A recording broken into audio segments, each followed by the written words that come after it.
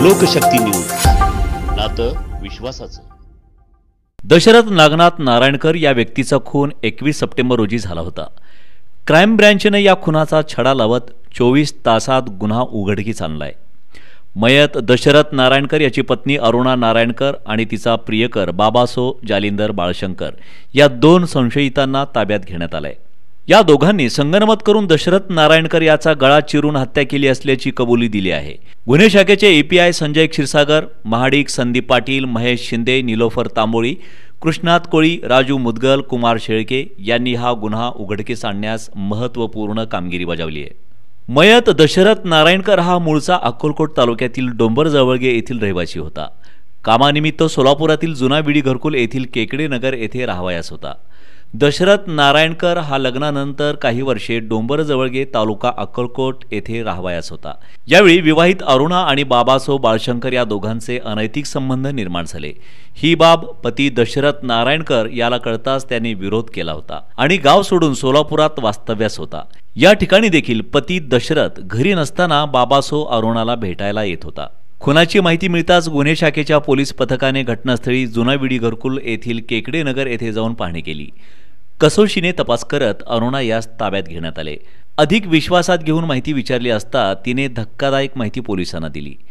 प्रियकर बाबासो बाळशंकर यासोबत तिने पती दशरथ नारायणकर याचा खून केला असल्याची माहिती दिली. खून केल्यानंतर दोघे पळून देखील जाणार होते. प्रियकर हा खून करून डोंबरजवळगे तालुका अक्कलकोट येथे गेला होता. एकवीस सप्टेंबर रोजी रात्री आठ वाजण्याच्या सुमारास तो सोलापूर हैदराबाद रोडवरील मुळेगाव मार्गावर येणार होता. गुन्हे शाखेने ताबडतोब त्याला एकवीस सप्टेंबर रोजी रात्री ताब्यात घेऊन गुन्हा दाखल केलाय.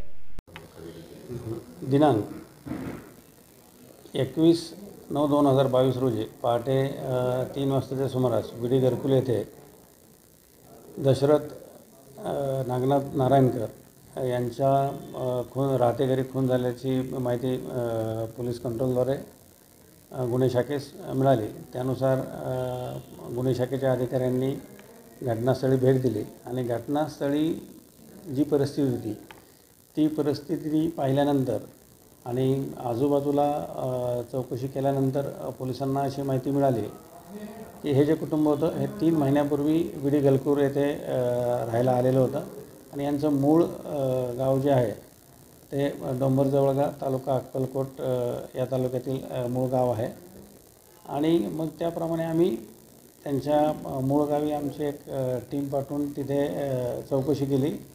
त्यावेळेस आम्हाला असं समजलं की हा जो मयत दशरथ नारायणकर आहे याची पत्नी आहे त्याचे त्याच गावातील एक बाबासाहेब जालेंदर बाळशंकर ह्या अ, तरुणाशी तिचे गेले सात आठ वर्षापासून प्रेमसंबंध आहे. त्याच्यानंतर मग आम्ही त्या तरुणाविषयी माहिती काढली. त्याचा मोबाईल नंबर मिळवला. मोबाईल नंबरचं आम्ही लोकेशन घेतलं असता. तो बंद असल्याचं दिसून आलं. त्याच्यावरून मग आमचा तो संशय बळवला. त्याच्यानंतर मग आम्ही त्याच्याबाबत तपास करत असताना आमचे जे हे आहेत A P I Kshirsagar Sanjay क्षीरसागरांच्या त्यांच्या तपास पथक. यांना माहिती मिळाली की तो मुळेगाव क्रॉस रोडला रात्री येणार आहे. त्यानुसार मग संजय क्षीरसागर साहेबांनी त्यांच्या तपास पथकातील कर्मचाऱ्यांनी तिथे ट्रॅप लावला. तो रात्री साडेनऊच्या सुमारास मिळाला. त्याच्यानंतर मग त्याला आम्ही आमच्या ऑफिसला आणलं. त्याच्याकडे विचारपूस केली असता त्याने महिताची पत्नी जी आहे तिच्यासोबत प्रेमसंबंध असल्याचं कबूल केलं. आणि त्याच्यानंतर मग त्याच्याकडे अधिक तपास केला आम्ही की हे जे आहे कशाप्रकारे कशा प्रकारे त्याने खून केला. मग त्यावेळेस त्याने सांगितलं की सुमारे दोन महिन्यापूर्वीच त्याने नायलान नायलॉन दोरी आणि चाकू हा त्याचा मर्डर करण्यासाठीच खरेदी केलेलं होतं.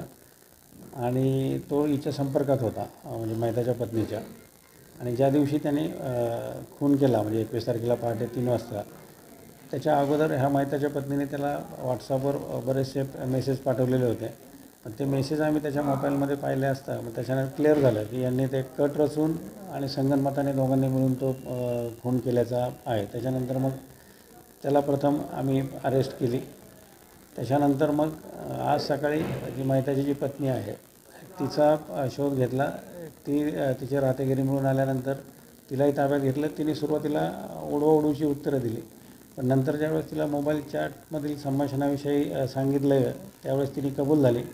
आणि मग तिने सांगितलं की ज्यावेळेस हा घरामध्ये आला त्यावेळेस हिनीच घराच्या दरवाजाच्या कड्या म्हणजे लावलेल्या नव्हत्या.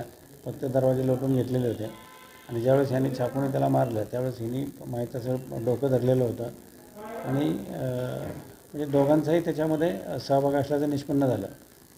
तर जेंट्स आरोपी जो आहे बाबासाहेब बाळशंकर याला मारताना त्याच्या स्वतःच्या डाव्या हाताच्या अंगठ्यालाही जखम झालेली आहे. तसंच ही जी महिला आहे म्हणजे महिताची पत्नी तिच्यासुद्धा गळ्याला खरचटल्याची जखम आहे. म्हणजे त्याच्यामध्ये परिस्थितीजन्य पुराव्याबरोबरच इतर टेक्निकल पुरावे भरपूर आहेत. आणि या दोन्ही पुराव्याच्या आधारे त्या दोघांनी गुन्हा केल्याचं निष्पन्न झालेलं आहे.